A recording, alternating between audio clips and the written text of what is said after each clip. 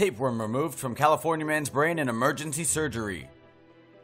26 year old Luis Ortiz has been having terrible headaches since late August, and now he knows why.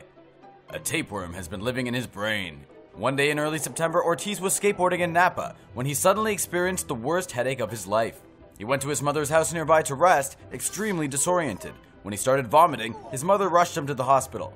After doing brain scans, a neurosurgeon told him they'd found a tapeworm, which had formed a cyst that was blocking the flow of water to chambers in his brain. Acting quickly, the surgeon drilled a hole in the skull bone above Ortiz's eyebrow and used a grasping tool to try to fish out the tapeworm. The surgeon managed to pull it off in time, the tapeworm still wiggling. Had Ortiz come in even 30 minutes later, he would have been dead. The surgeon says the tapeworm larva had been growing in there for about four years and likely entered Ortiz's body from eating undercooked pork products. Ortiz is back home resting with some memory loss, but says he's happy to be alive and that he's stayed far away from pork products ever since. No more bacon strips. Like this video? Don't forget to subscribe and follow us on Facebook, Google, and Twitter.